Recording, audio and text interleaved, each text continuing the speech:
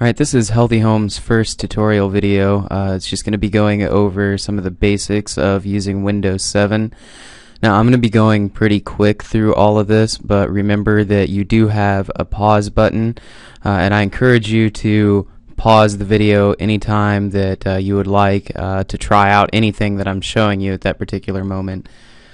So the first thing that I'd like to go over is the start bar. Now, the start bar is this whole bar down here at the bottom. Uh, it's broken up into several sections. Over here to your far left, you have your start button. Then down here across the bottom, you have your programs uh, that are running or either pinned to the taskbar, which I'll show the difference in that here in just a moment. Then over here to the right, you have your system tray. This is all of the applications that run in the background that you don't necessarily mess with, but uh, are necessary for the computer to function the way that they do, such as our antivirus uh, is this icon right down here. Uh, it stays there all the time to make sure that the computer is protected. If you ever notice that that V icon isn't down there, uh, you might want to let me know as soon as possible. And then over here to the right, we have our clock, and it also shows the date down there as well. Then the very far right over here is show desktop. What that does is if you have, uh, let's say, several windows open, for example, and you click this button here on the far right side, it'll take you down to a blank desktop.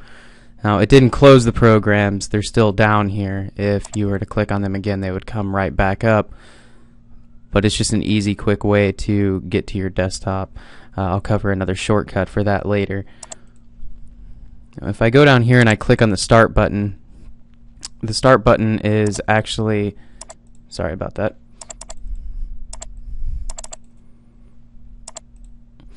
Uh, the start button brings up this full menu here, which is broken up into several sections as well. The very bottom left here is a search. You can search your computer for files. You can also search it for programs. Uh, above that, you see that we have the All Programs button here, which I'll come back to in just a second. I guess it took it to me, or it took me to it automatically. Uh, over here on the left, you have your Quick Launch uh, that you can pin applications into so you can get to them quickly. I'll show you that here in just a second. Then over here on the right, you have uh, this various folders uh, that are uh, on your computer, such as uh, your Documents folder. If you wanted to quickly get to that, just click on it.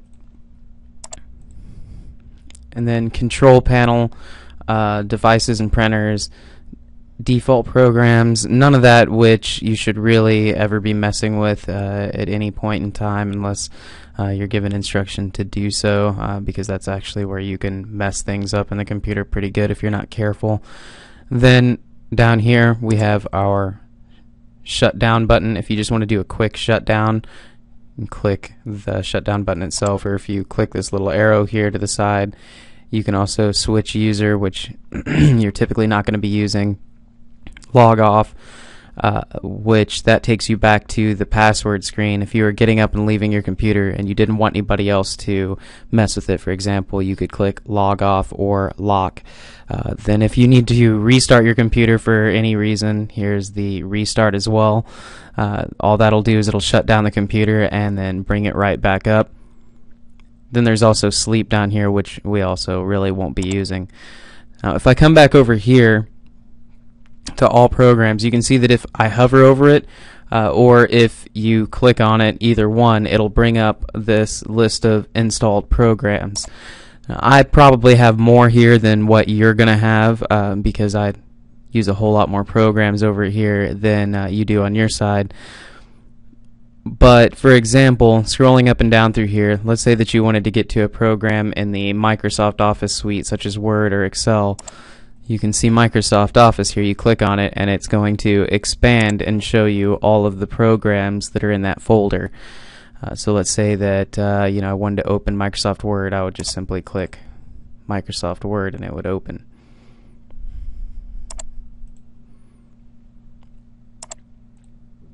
Or to do the same thing, you can see that as soon as you click on the Windows Start button down here that the cursor is blinking in the search programs and files. So you don't even really have to click in there. It's automatically selected.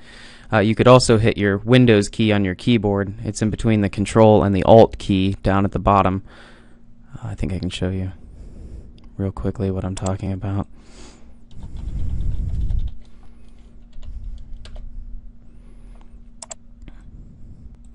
It's this key right here. If you hit that key, you can see that Windows should pop open the bar down here. Here, I'm going to hit the key. And then you can start start typing in the name of a program. For example, if you were looking for uh, Excel, and it's default selected up at the top because it's the most relevant search item. Uh, so you don't even have to drive the mouse up there and click on it. You can actually just hit enter, and it'll go ahead and open up Excel. Now, another thing that you can do to make getting to programs easier, uh, especially the ones that you use a lot, is you can either pin them to the start bar or to your quick launch here. Uh, now, what that means is, let me go back in here one more time and find Excel.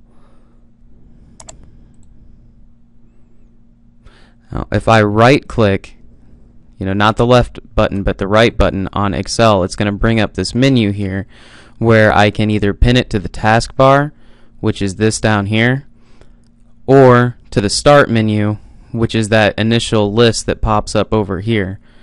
So I'm going to pin it to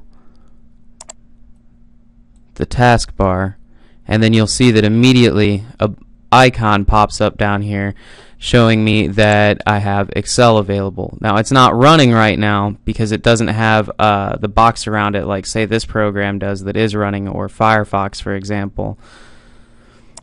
But if I were to click on it and the program actually is running then you'll see that this box comes around it here.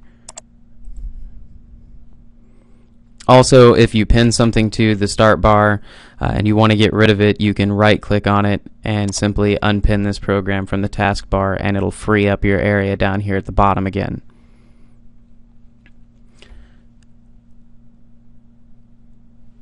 Okay, the next thing that I want to go over is navigation and shortcuts. Uh, so briefly, I already mentioned one shortcut, which is the Windows key. Once again, I'm going to hit it here, and the menu pops up. Uh, now, the reason for using shortcut keys is because every time that you reach over and grab the mouse and drive that mouse around, you're actually costing yourself and the company little bits and pieces of time. I know it doesn't seem like much, but over the course of a day, you know, a week, a month, it adds up. So, by hitting that Windows key, I didn't have to go over and grab the mouse. It pops open the menu, and then once again, I can start typing in a pro, program name and it comes up selected automatically at the top. Hit enter. I've never touched the mouse. I have the program open. And then also, while we're talking about opening programs without having to use the mouse, uh, I'll also briefly touch on uh, you can close windows without having to use the mouse. So what that means is by hitting Alt F4 and there's actually a list of all these shortcuts uh, underneath this video on the page that you're viewing right now. You can see that Alt F4 closed that window without me having to touch the mouse. So something else uh, that comes in fairly handy is cycling through windows to see what's open. Now one way to do that is to come down here and mouse over the different windows. You can see a little preview of what's in them or if you have multiple windows open of the same program you come down here you can see well it's not a great example because I have the same page open in both. But you can see that over here this one's showing me you know Google and this one over here is showing that I have a window open uh, showing uh, the Healthy Home website uh, if you have one of these windows open by accident, you don't want it open, uh, you can simply on the preview window click the little red X or you could select that program and hit Alt F4 and close that window. Now, something else. Uh, earlier, I had mentioned that you can come down here if you have Windows open and show the desktop by clicking this button. If you hover over it, it'll actually you know preview the desktop. So if you're ever working in a program and you bump your mouse down here to the bottom corner of the screen and your work goes away, you know, there's no need to freak out. All you have to do is move your mouse. It should come back. But another way to do that is uh, the Windows key plus D will minimize every window that you have open uh, down to the taskbar so that you can get to your desktop again.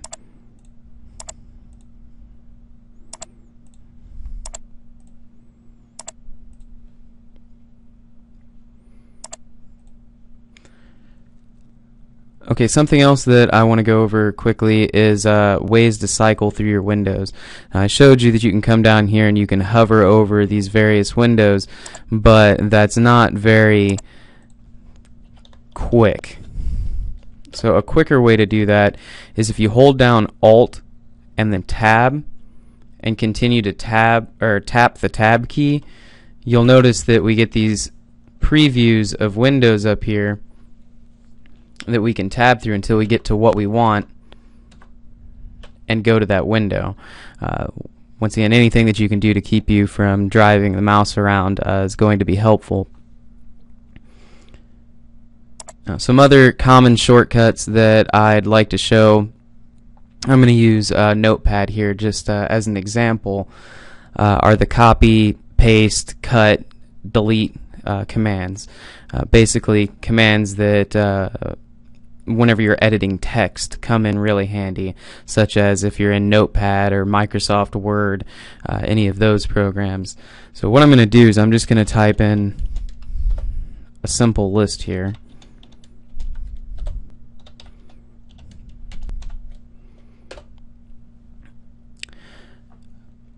Okay, now you can move this cursor that's blinking around with your arrow keys.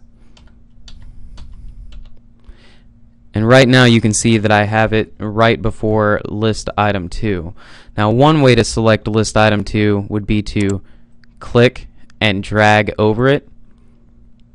But once again that's reaching over and grabbing the mouse. Another way would be to hold down shift and then use the arrow right key and you can see that we can individually select the characters one at a time.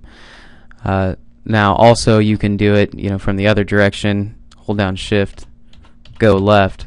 Either way it works. Now, for copy and paste, uh, it's all too common for people to grab the mouse, right click, select copy, or go up here to edit, copy. Uh, another quicker way to do that is Control C. Now, by hitting Control C, you can see nothing changed, but what it did is it copied this list 2 into the clipboard. Uh, the clipboard is just an imaginary place where Windows puts things whenever you copy, cut, paste. So now list 2 is in the clipboard. Now if I move down here below list 3 and I hit control V which is paste you can see it put in another uh, list 2.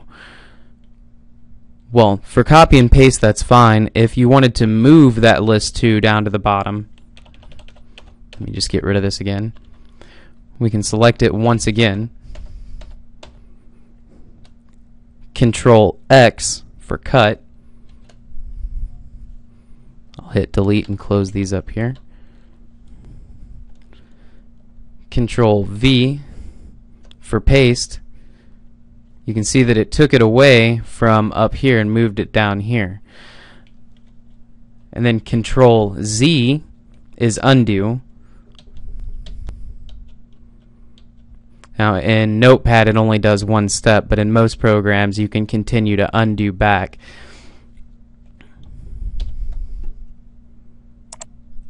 Control A selects everything in that text box. And then you have the delete key over in the center section of buttons on your keyboard. So Control A and then delete gets rid of everything or clears everything out of the text box that you're in.